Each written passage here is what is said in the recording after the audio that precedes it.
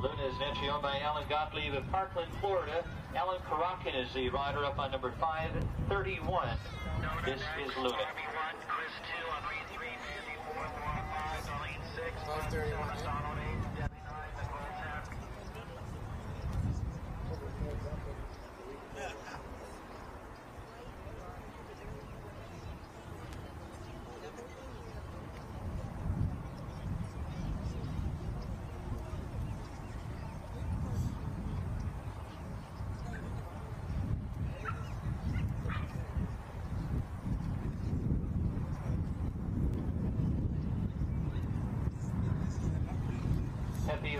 Check at the tower? Give a chance. Pepe, check at the tower.